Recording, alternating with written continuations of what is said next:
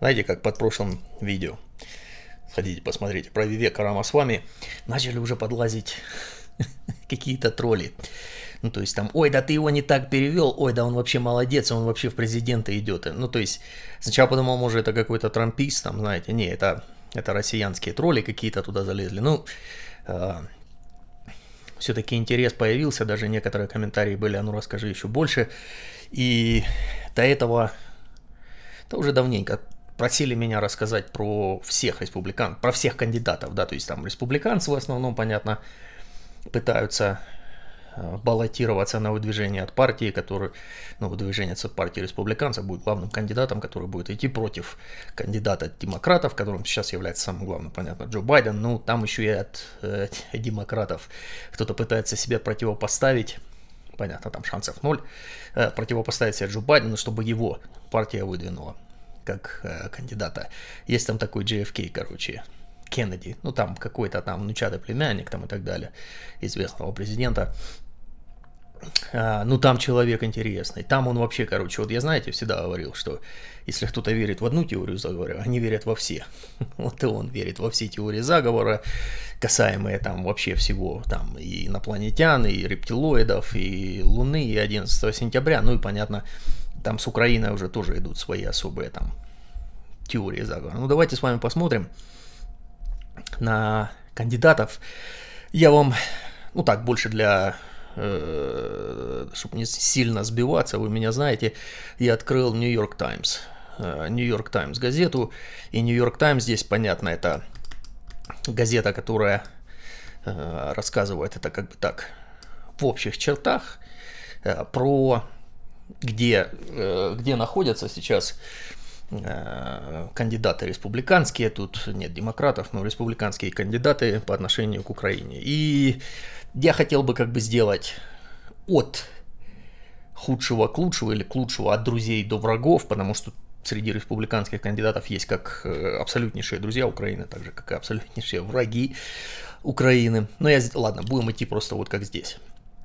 Дональд Джей Трамп. Да, ну Трампа вы все знаете, тут можно кликнуть и полностью его позицию рассказать. Я буду немножко добавлять, так сказать, э, всего понемножку, потому что, ну, были высказывания раньше и до 24 февраля, и после 24 февраля, то есть э, в основном все кандидаты сейчас только высказываются, да, но Трампа мы знаем по Украине. Трамп был известен своей фразой, что его Украина ненавидит, еще до 24 февраля.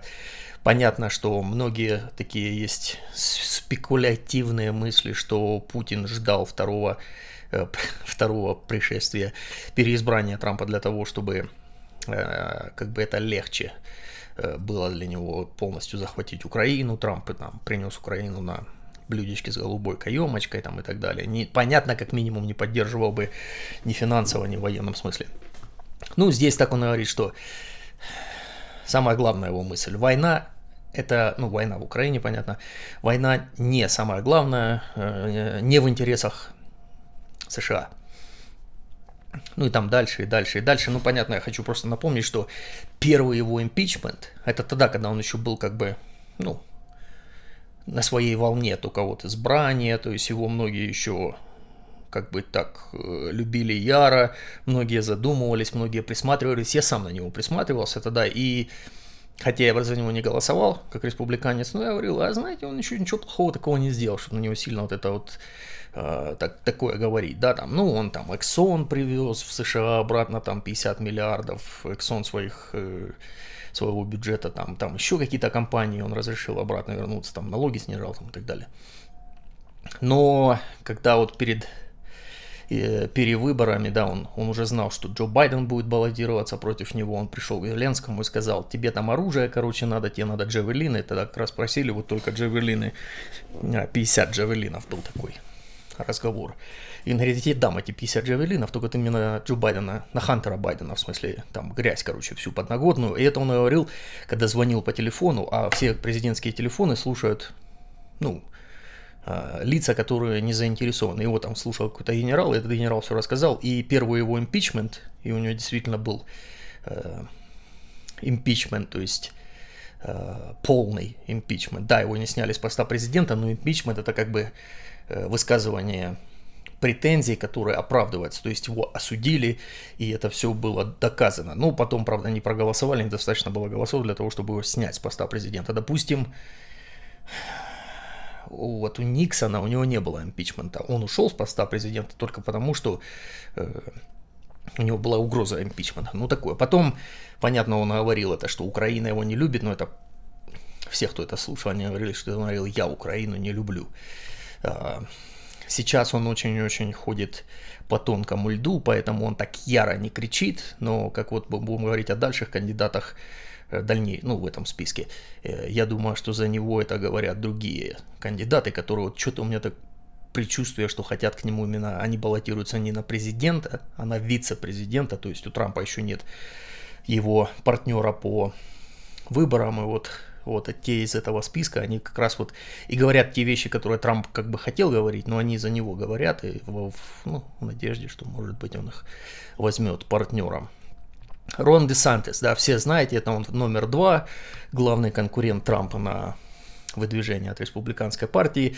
Примерно, примерно такая же идея, но только что он не, не ненавидит Украину как Трамп, он просто вот считает, что для него война Украины с Россией это та же самая, что, допустим, если бы была война там Индии с Пакистаном, э, и то там непонятно, что было бы для него важнее. И поэтому вот э, он как-то говорит, что это не в, в лучших интересах э, США. Но в последнее время, вот как тут написано, он отошел от такого, такой терминологии, как территориальные споры, происходящие между Россией и Украиной. Ну, то есть, понятно, это такое. Тим Скотт, сенатор от э, Южной Каролины, он и до этого мелькал, то есть он там тоже хотел, по-моему, выдвигаться или что-то он говорил. Это единственный афроамериканец, республиканец. Он, кстати, э, как бы, ну, не самый лучший друг Украины, понятно, но он, э, э как бы, вот знаете, вот есть республиканцы, и они делятся вот на, на, на три основные лагеря. Здесь мы это видим, да, вот такие лагеря, как Трамп и Десантис, то есть это не наша война, как минимум, да, нам туда не надо вообще лезть, и денег сэкономим лучше вот здесь внутри США их тратить деньги, а там они сами разберутся. Team Squad это тот, который как бы критикует Байдена за то, что Байден недостаточно делает для того, чтобы помогать Украине, но не из-за того, что он сильно Украину любит, а из-за того, что это его как бы такой повод критиковать Байдена. Все критикуют Байдена, все выезжают и используют войну в Украине как критика Байдена, то есть вот Байден, то есть, ну, Байден делает это, Байден делает это, но мы бы сделали вот это намного лучше. И война в Украине, то есть кто-то говорит, что Байден дурачок, Байден деньги дает Украине, лучше бы он тратил в США, я бы, я бы такого не делал. Другие говорят, Байден а, деньги дает, но он делает это по-дурному. Я бы вот э, больше сделал для Украины. И понятно, там все вот эти вот такие острые вопросы, почему нет дальнобойного дальнобойных ракет, атакамс, почему нет там 16, он как бы такой говорит, я бы им все это дал. Что я считаю нормально, то есть, но он не делает это как э, Украина для него не самая не самая близкая часть, да, вот э, и так далее. Вивек Рамасвами, я про него говорил, враг, абсолютнейший враг Украины, это вот тот, кого я говорю, что он баллотируется на вице-президента Трампа, абсолютно говорит, э, ну, дурные вещи. Э, либеральная часть демократической партии уже начинает на него полную-полную атаку, потому что он начинает там российские вещи говорить, думает, что ему это с рук сойдет, так как он индийского происхождения, то есть он как бы так ну, те вещи, которые, допустим, белый не скажет, он их начинает говорить, и на него уже начинают э, внимательно пристально смотреть, то есть даже по этим. Ну, по Украине он говорит, что Украина это...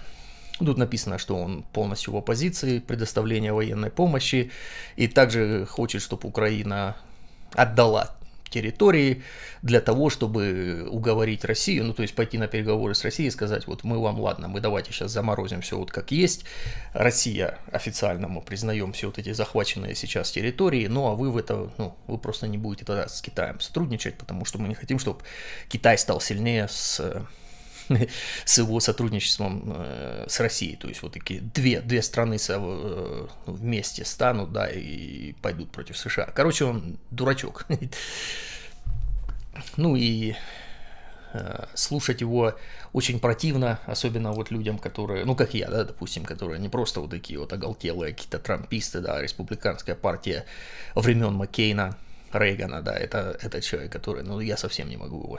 Э, это абсолютный враг Украины. Что бы он сейчас не говорил в дальнейшем, да, он, понятно, если у него будет веса набираться, он будет это все исправлять, он будет как бы так, чтобы, ну, и тем, и тем, но вы должны это запомнить. Ники Хейли, э, друг Украины, но тоже примерно как и Тим Скотт, то есть э, говорит, что Байден недостаточно делает для Украины. Она э, Рама с вами критикует на это очень сильно. Она говорит, что, ну, то есть он хочет, он придает больше больше значения подружиться опять с убийцей и врагом всего человечества, то есть с Путиным, да, ну, а в это время он хочет Э, прекратить финансирование Израиля. Ну, я ее считаю более-менее нормальным человеком по отношению к Украине. Внутренняя политика у нее немножко, конечно, такая, что многие критикуют, она хочет поднять пенсионный возраст, ну, такие, такие дела, ну, то есть, но она сейчас тоже как бы более-менее набирает веса, там многие спорят, кто выиграл предыдущие дебаты, она или Рамасвами, да, ну, такое. Я Э, я бы был не против, если бы она была э, выдвиженцем от республиканцев. Ну, не то чтобы это было бы, я бы очень сильно радовался. Там у меня есть кандидаты, которые я действительно хочу, это мои, ну, так сказать, кандидаты. Но я был бы не так бы против, конечно, как если бы это был Трамп, как если бы это был Рамасвами. Майк Пенс, один из двух э, людей, которые посетили Украину, которые ездили в Киев, которые поддерживают Украину. Его можно считать другом Украины. Человек, опять же, который был вице-президентом Америки вместе с Трампом, и он знает отношение Трампа к Украине, поэтому он знает, что его... Он сейчас как бы выступает, понятно, на противовесе Трампу. То есть он вот э, все то, что Трамп плохое, он этого делать не будет, все то, что может было бы хорошее, да, он это все будет продолжать. То есть э, их президентство, ну, когда он был вице-президентом, и Украина, понятно, это все то плохое, что он не будет делать. Он встречался с Зеленским, он поддерживает Украину, всегда говорит, что э, Украина должна получать военную поддержку э, сколь, столько, сколько нужно. То есть as long as it takes. И я считаю другом Украины. Крис Кристи, вот он мой кандидат. Абсолютнейший противовес Трампу, то есть немесис Трампа, критикует. Он тоже был в, э, в лагере Трампа первые два года. Тоже был его ярым, э, так сказать, поддерживал его очень сильно, ярым фэнбоем, хотел сказать. Э, он э, был, он, он, он за Трампа, потому что они все Нью-Джерси, Нью-Йорк, да, это все своя там мафия и так далее, но он первый, кто отделился от этого. Допустим, как э, многие там другие еще какое-то время оставались, и, понятно, нью-йоркский мэр, бывший, э, уже забыл, как его зовут, когда-то он, после 11 сентября 2001 года он был э, супергероем, короче, в Америке, ну, потому что он был мэром города в то время, но он сейчас там он, у него несколько статей за то, что он снюхался с Трампом, пытался переворачивать, ну, в смысле, пытался overturn, то есть пытался э, э, изменить результаты выборов, то есть ему так не повезло, да. А, ну, а Крис Кристи, он тогда от него отделился, и сейчас он выступает полностью противовесом, полностью критикует Трампа так, как я его критикую, один в один, у меня с ним мысли абсолютно сходятся, он тоже приезжал в Украину, один из двух, это были э, Майк Пенс и он, они приезжали вместе, Поэтому я, я хотел бы видеть Криса Кристи э, выдвиженцем от республиканской партии. У него были там свои запарки в Нью-Джерси, но опять же, Нью-Джерси супер либеральный штат, супер-супер-супер либеральный штат, ну так же, как Нью-Йорк там и так далее, да, это абсолютно синие штаты, а он был республиканским мэром этого города, и достаточно. Там у него были подставы, понятно, там была своя свои терки там, и там с мостом связанным, короче, который связывает там, ну, это, это внутренне, это долго рассказывать, и можете даже посмотреть, почитать, было давно, лет 10, наверное, уже назад, за это ему до сих пор там предъявляют, но я считаю все вещи, которые он говорит, это отличные вещи, он говорит, что поддерживать Украину нужно столько, сколько нужно, он также говорит вещи, которые я согласен с ним и на внутренней политике, то есть как э, с эмиграцией, как там с экономикой и так далее. Аса Хатчинсон, губернатор Арканса, Арканзаса, да, если говорить, они не проносят, произносят эти буквы S. Э, он тогда еще известен был там, то есть, ну, я помню, когда он, по-моему, выигрывал этот, э, то есть, это, по-моему, по-моему, это даже было большой такой победой в Арканзасе для республиканцев. Ну, он как бы не друг и не враг Украины, он больше как популист, то есть он видит, что это популярная э, вещь среди американцев, то есть демократы абсолютно полностью, да, республиканцы тоже 50 на 50, как поддерживать Украину или нет. И он говорит, да, Украину надо поддерживать, но нужно поддерживать с сауд, с аудитами, короче, ну, то есть с проверками, со специальными, чтобы контролировали финансовые, ну, и, понятно, понимаю вот этот вот очень животрепещущий вопрос о коррупции. Коррупция существует, коррупция существовала, с ней борются. Я надеюсь, Украина будет еще больше шагов предпринимать для борьбы с коррупцией. Мы сейчас видели, проходит э, смена министров обороны в Украине, то есть идет какие-то результаты все-таки мы видим. И мы видим сейчас и олигархи там в Украине, причем те, которые считались, как вроде бы они поддерживают Зеленского, сидят. По-моему, даже когда я записываю это видео, он до сих пор еще находится под э, стражей. Э, Коломойский. Ну, то есть, э, я считаю, что там шаги эти двигаются, даже, даже, наверное, быстрее, чем я ожидал. Э, я ожидал, что в Украине будет борьба, и я ожидаю, что она будет борьба с коррупцией продолжаться. То есть, это самое главное, чем нужно Украине отделять себя от России. Это коррупция в Украине, это абсолютное наследие постсоветского вот этого всего и российского. То есть все, все, все, все, все, что было связано с коррупцией, это чисто российские вот эти вот связи. То есть бандитские 90-е перелились на то, как бандиты стали депутатами там и так далее, и так далее, и так далее. Это, это, от этого надо избавляться, и Украина, мне кажется, делает это. Может быть, не так быстро, но мы посмотрим. Ну, а Аса Хатчинсон, он больше как популист. Да, будем давать денег, но надо, чтобы за ними следили там и так далее. Ну, вроде бы как, да, умная вещь, но во время войны как ты будешь следить за во время войны? Ну, то есть это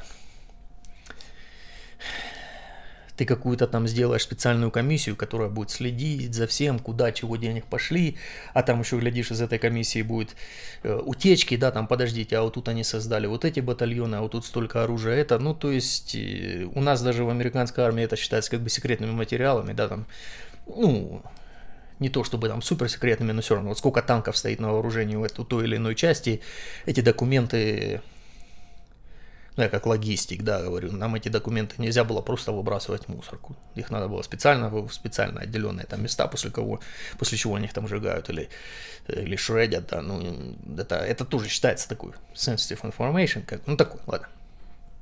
Will hurt.